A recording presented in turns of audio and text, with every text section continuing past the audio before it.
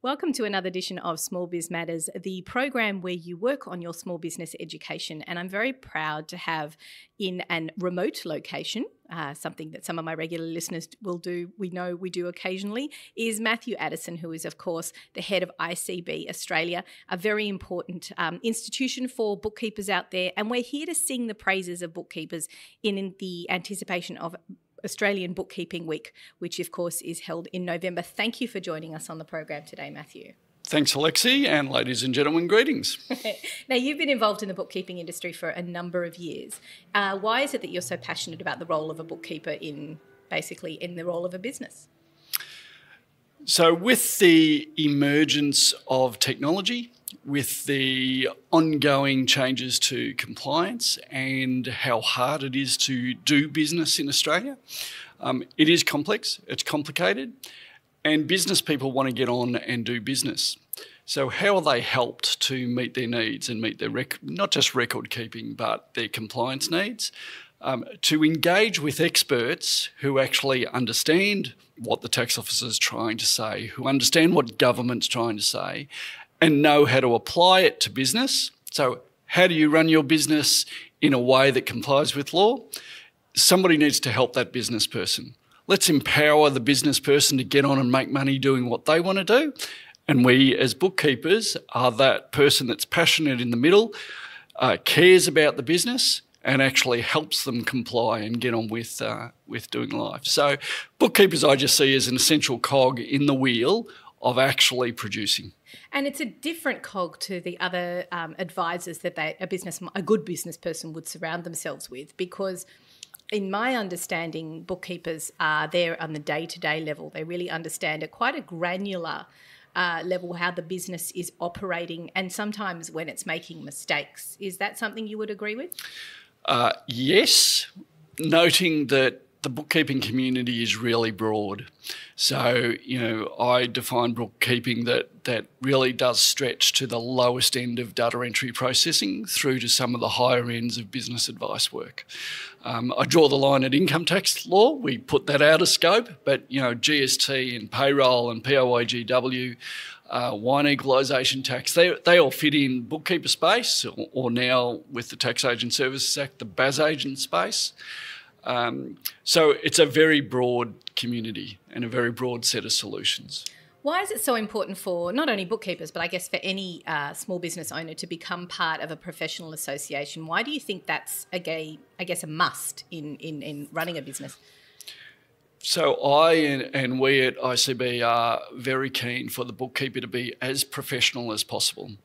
And professional means understanding what you do, understanding what your limits are, understanding what the law allows you to do, understand what the law prohibits you from doing. And what um, a number of us saw 20, 25, 30 years ago was that the uh, partners of software companies were starting to stretch the boundaries a little bit. Bookkeepers were starting to adopt software, and what do I do now? How do I know whether I'm doing it right or not? So GST brought that to a head, but even prior to GST, um, how do we raise the level of the person that was helping business, the bookkeeper? How do we give them some benchmarks? How do we give them some standards and professionalism to lift the standard of bookkeeping in Australia and help them deliver a professional product really, really competently? So uh, that evolved into um, a group of us aligning with the Institute of Certified Bookkeepers, who are based in the UK but a worldwide organisation. Uh, they were looking at Australia and going, hey, you've got software and you've got GST, do you need some help? At the same time as we were looking around going, how do we lift the level of bookkeepers? So the planets aligned, and by adopting um, some of that worldwide professional organisation, we were able to start putting a footprint in Australia to say, bookkeepers are professional, mm. join up, have some standards, have a code of conduct, and now let's work with government on behalf of bookkeepers and their clients or their businesses to understand each other. Uh, and it just began to open doors. It opened doors with the software companies that are, are prolific in our space, and it opened doors into government, both at the um, government officials level, but also for ministers. Uh, it, it just opens doors by that professional. So we hear from government what they want and what they wish. We as an association are able to de-governmentalise that. We turn it into words that, that you know yourself as a bookkeeper and other bookkeepers might understand. And our role is to make that implementable, so make it practical for you. Do you think that that's evolved into being, um, like you said, working with government uh, very much in an advocacy space? Is that is that a necessity for any professional association to really advocate for its members and to lift the profile? I mean, what to what extent is it all about PR a little bit? I wouldn't put it in the PR category. Um, representing the community and taking a voice into government, I think, is part of our role. So our 4,300 members um, seem to appreciate that they actually have a direct access uh, through ICB into the tax office, into Fair Work. And we can talk about whether that's an open door or not, but we at least talk to their door. Mm. Um, and, and other you know, government agencies. So when there is a problem with a part of what the tax office is doing, if they're not getting the answers. Through us, we represent the community to the government and we have represented it to ministers and ministers' roundtables to help set policy. Um, Tax Agent Services Act is under review at the moment. So, Treasury are conducting a review. It's a multi step process. A report will go to the minister um, just, uh, just prior to this uh, broadcast. There will be a, a report tabled to the minister we represent bookkeepers to the Tax Agent Services Act review, to the future of what BAS agents will look like. Uh, we've run a number of consultations with our members. What is your view on the education of BAS agents, the education of bookkeepers? What's your view on the size of the stick that the Tax Practitioner Board has? So, yeah, there's an advocacy role, but it's representation or it's consultation, collaboration is the other part of the world. We as a bookkeeping community now get to collaborate with government. Mm. We get to consult with I was going to ask you that. Was there a time when it wasn't collaborative, when it was more you know, bookkeepers were doing their own thing and they weren't really being consulted in the process, even though we were the ones with the finger on the pulse of the small business owner every day? Um, I, I think it has evolved a lot. So, um, I'm, I think the bookkeeping community was hidden um, 20 years ago, 25 years ago. Behind what? Um, they just weren't recognised mm. in the role that we did. Mm. So the accidental bookkeeper was a phrase that I used to use. You know, people became bookkeepers accidentally. They were the receptionist and they knew how to write numbers in a column, or then they knew how to turn the computer on. So then software emerged, and the receptionist became the accidental bookkeeper because they knew how to use software. So we were a, a, bit of a hidden community, a bit of a we were there, uh, but we weren't formally recognised. Mm. Software and the implementation of desktop software and small business software, I think, began to give us a presence. So all of a sudden, bookkeepers who, as you say, know how business works. We know the intricacies of how that business banks their money or receives their money or sends their invoices or receives invoices. So we're the ones there doing business, processing business. Software came along and gave us a profile because all of a sudden we could implement software and implement better business systems for, for clients. That raised our profile a little and through the software, we started having a voice to the implementation of GST is probably my favourite topic.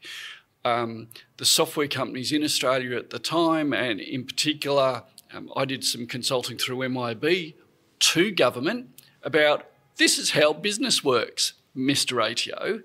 This is what you're doing, and this is the disruption you're going to cause to business process. So that to me was the real start of the bookkeepers and the bookkeeping process having a real impact on government's thinking. It was quite a clever uh, decision by the software companies to align themselves with a group that ended up becoming, I guess, not only their their own advocates, but using their platforms and appreciating the fact that they were raising the profile of bookkeepers in the process, perhaps. Uh, and it's interesting watching the journeys of bookkeepers and software around the world. But but in Australia, the you know dominant software in the small business space all align with the professional associations. Uh, different sorts of relationships, and that ebbs and flows. Um, but yeah, I think the software see the value when the associations are being deliberate, being actionable, um, and representing the bookkeeping community. Mm. Let's talk about the role on an everyday level of the bookkeeper and um, your typical small business in Australia. Not that I can really say typical small business because there's definitely not a typical small business out there, despite the fact that government would like to think that we are either a cafe or a florist or um, a butcher. Uh, but let's talk about the role of the bookkeeper because we, uh, as you mentioned, you know, it began as sort of a, a data entry position and a compliance position. But now, because of the evolving nature of legislation, we're taking on more and more. Um, is that a good thing or a bad thing for the community? Uh, there's, a, there's a few levels to that that question, Alexi. The um, where to start on that answer? I believe that the ecosystem that we work in, the business ecosystem, and in some cases I call it the tax ecosphere, we have government setting policy, we have the tax office um, administering the law that they're handed. And despite what the tax office sometimes say, the tax officer's role is to administer that law and collect tax. The taxpayer's role is supposedly to understand that law and pay the tax and lodge the forms. Now, there's a huge disconnect between those two bodies. We, as bookkeepers, are the intermediary that sits in the middle. So we understand, we go into business, we help them with their business process, we help them with their recording transactions, and we get to understand their business. We have a role to understand what government expects of them. So we are at the intermediary in the middle who understands what the law does and says this is how it applies to the cafe, this is how it applies to the florist, this is how GST applies to the frozen food versus the cooked food. You know, that, those sort of things is us understanding the, the regs that the ATO put out there um, and government puts out there and applying it to each business.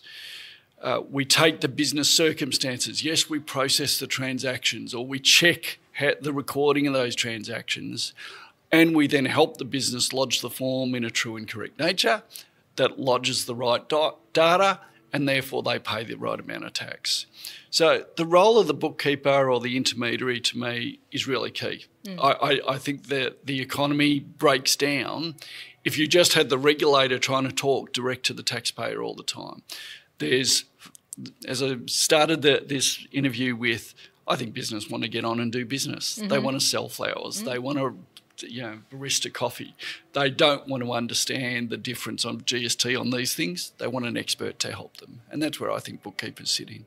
And it's definitely where um, that's where the sweet spot is really because the businesses, as we know through statistics, the businesses that use bookkeepers and use BAS agents are more successful, are more profitable, are more likely to be more compliant. Does that keep the regulators happy? Uh, the Small Business Tax Performance Report has been released by the Tax Office, where first time for a number of years they've actually done it for the small business sector and said how compliant are they, how much of the tax that they should be paying are they paying, and key statistic that comes out of that is Tax Office. Um, and I think I'll quote this stat the right way. Tax officers saying they collect 95% of the tax that they believe they should get. So there's only 5% by quantity or value or 5% of taxpayers that really aren't complying. Now, if we align that with a few other stats, um, 78% of tax returns are lodged through agents.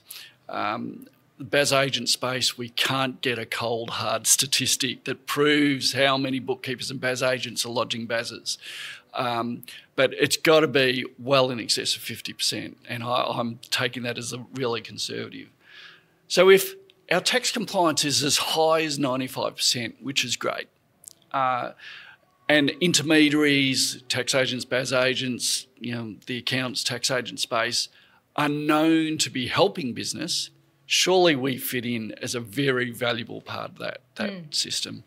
Um, And that recognition is is important, of course. Correct. Good to, good to see that the um, the tax office is running these sort of reports as well. Um, I wanted to ask you about a bit of a curly question, which is around the definition of small business. We're here at the COSBOA conference, and it seems to be something that is almost an elephant in the room. Um, do you think it's important that we have some sort of a definition across all sectors or all parts of the economy or all parts of legislation that actually define what a small business is, or is that just sort of chasing our tail with, you know, semantics? On the positive side, if government recognise that a smaller business has less resources to respond to government requirements. So they go big business, $10 million and up, or $50 million and up in turnover, or $100 million, whatever that definition is. Big business, you have the resources. We expect a little more compliance. We expect a little bit more reaction from you. Um, smaller business, whatever that definition might be, or the non large business, uh, we recognise you're less resourced. So we will give you this concession. We'll give you a little bit longer to lodge forms. We might have a different regime about um, our concessions if you're struggling for payment. We may have a different payment plan arrangement for that smaller business. So I'm thinking, yes, there is a, there is a benefit here. If I think of the fair work space, I really like something that Kate Carnell has put on the table as the ASB FEO, the Small Business Ombudsman, um, the Fair Work Award for small business.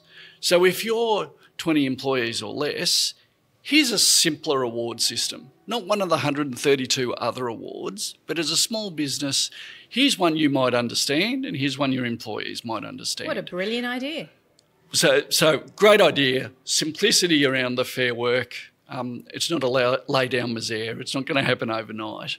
But uh, so there is a reason, I think, to di- differentiate between the complex business structures that the large end of town have and what could be streamlined and simpler processes for the smaller end of town. So it is an, it is something that we, we should be aiming for and that we should be advocating for is is a, a definition. But then again, you've mentioned Fair Work, you've mentioned ATO, we mentioned legislators. Uh, are they all going to come to the table and actually give us some parameters here, or is that really pie in the sky stuff?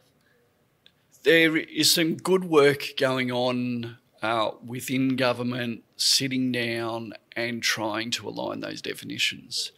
Um, and again, I'll I will you know appreciate the work that Kate Carnell's office does and her team, um, pulling government departments in and going. Here's all your definitions, guys. And I think they came up with 25 different levels of parameters to define a small business or the concession and said, Let's agree on a set of words. Now, I don't think we'll get one. I don't think we'll get one parameter because some have very high turnover but very low margins mm. and low staff. Mm. Some have um, a staff. So I think you know turnover could be one indicator for some reasons. Number of employees could be an, another parameter mm. to determine whether you're large or small. Mm.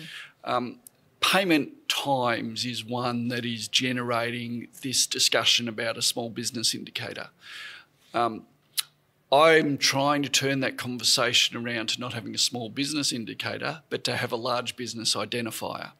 It's a lot easier to identify the large businesses and go, you're a large business, you must pay according to this regime. Yeah. Rather than have a small business put up their hand to say, I want to be paid quicker. What's your thinking on the solution that the government has on the table at the moment, which is creating a list of large companies who are really terrible at their payment terms and then having the expectation that small business is A, going to look at the list, B, understand what the report means, and C, turn down a large client because they don't pay them in a timely fashion? Do you think that's the solution, or do we have to be asking more than that? I absolutely think there is credibility in giving some transparency to the behaviour of large companies in their paying cycles. So that small business that wants to engage with the large company might be a big contract. And they go and have a look at this payment times transparency register and see that they pay in 120 days.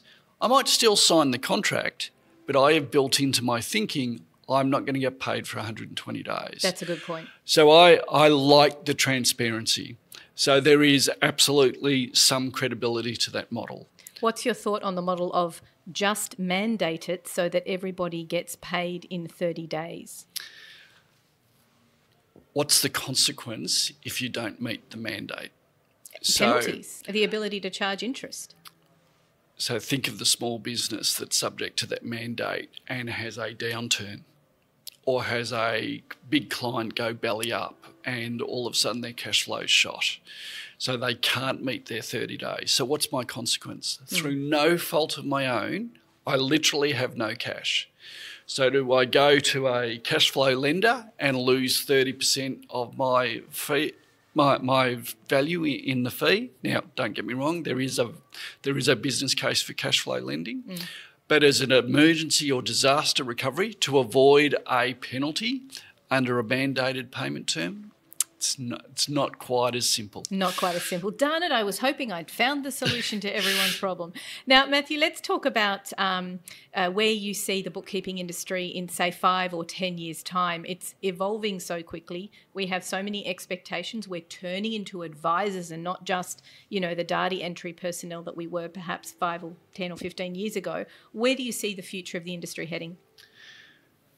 So you touch on a few points there, and we've touched on sort of the evolving technology. We go back a few years, and what did a bookkeeper do? 95% of their time was data creation. It was process the data, it was record the data, it was simply get it into a book and add it up and, and report it somehow. Where we've got to now is our technology is enabling us to create that data and record that data so much more. So our budget the allowed amount of time can be reallocated. So it's not data creation, but it might be data certainty. Is this correct? So we get to do a little bit more verification mm. work. Um, we get to um, understand it a little bit more. So let's understand the numbers. What's behind the numbers? Now let's have a discussion with the business owner or others about what's going on inside that business. So I think our world has moved from data creation and yes, we might have got to reconcile it if the time allowed, to the data's created so much quicker. There's a more time allocated to checking that it's right. So I think we're in a far more accurate world, mm. or could be today, far more sure that what we put on the table, the numbers we've put on the form are correct. So, should government come and audit us, should the ATO come, I believe we're in a world now that the bookkeeper and the businesses should have been able to spend more time checking that the numbers were right we have better tools. We can do this. Exactly. And and just as to find one final question, um, where do you see the role of big data heading? Because obviously um, we have the likes of Xero and MYOB who are kind of the bastions of all this information, which we as bookkeepers have made perfect for them and made all very perfect and compliant. Um, where do you think that role is with, um, I guess, the bridge between what we do and what policymakers are going to do with that data? So I'm going to answer it two ways, but I'll probably avoid your question, and not deliberately, but let's come back to your question. Uh, I'm mildly, and I'm watering that down, disappointed with how our existing software is using automated techniques. I'm hesitant to use artificial intelligence as a word, but automated techniques to analyse our data and give us anomaly reports report back to us. So in terms, and that's where the big data bit comes in. What are they doing? They've got the data. Run your machine learning over it, run your analytics over, and report back to us. I'm mildly disappointed with where we're at today. I think they've got it on their table. I think they've got it in their draft code. It's not just on the whiteboard anymore, but they haven't delivered. So I'm looking for um, automated techniques, machine learning techniques, anomaly reports, analysis reports to help within a business's set of data, help report back how are we going compared to previously? How are we going compared to what we thought? Then we get to the big data world as the doors open up a little bit more. And, you know, the software companies like looking inside their multiple clients and coming up with industry trends well, how about at a push of a couple of buttons, we compare our business to our nearest neighbour and get some of that. I'm hesitant to use the word benchmarking because that's a term that we, we've you know, not executed particularly well. But um, I think we're going to have better computers, more connected, therefore, we have access to more data, we have access to more information. We just need the tools now to work out for that cafe how are they actually performing to, to other ca- cafes. Mm. So I like where the big data concept goes. We just don't have the tools or analysis in you place. You want to bring it back down to the granular level so it really helps the end user. Yep. Mm, interesting. Yeah. But I do like the the trend type reports that come out. Um, if I pick on two, the MYOB radar report, the Xero Insights reports, they're great. Huge industry trends and huge economy wide mm, trends mm, that they're getting yeah. so much quicker. Mm. Um, we're doing some work and concept work with the Australian Bureau of Statistics to go, you know, nobody outside the ABS actually fully appreciates really what they do and the data they've got and how to read it. Uh, and we'd love to see small business value submitting an ABS survey because we know what information we can get back out of it. That's all the big data. Mm. Um, Alexia, I'm a real fan of the better computers we have. I'm a real fan of the better connectedness we've got. And I think bookkeepers can really leverage off that because we do know the granular what's going on in the business. Now give me insights to some data. How much more value can we add? Fantastic. Well, that, that, really gives us a great overview of where the future of, of bookkeeping is heading. I'd like to thank you so much for joining Small Biz Matters and giving us a real understanding of the importance of the bookkeeper and the importance of associating yourself with a professional group that can give you the education, the advocacy, the the you know the power of what um, something like ICB can give you. So thank you so much for joining us this evening, and um, we'll of course be uh, broadcasting this during National Bookkeeping Week. How can people find out as a small business how they can get in touch? Touch with a qualified ICB member? So, in the ICB case, on the ICB website, find a bookkeeper and have a search for our members in practice who have met certain requirements in order to be listed there. Fantastic. Thank you so much for joining Small Biz Matters. I'm Alexi Boyd, and we'll be back next week with another excellent business education piece. Thanks again, Matthew. Thanks, Alexi.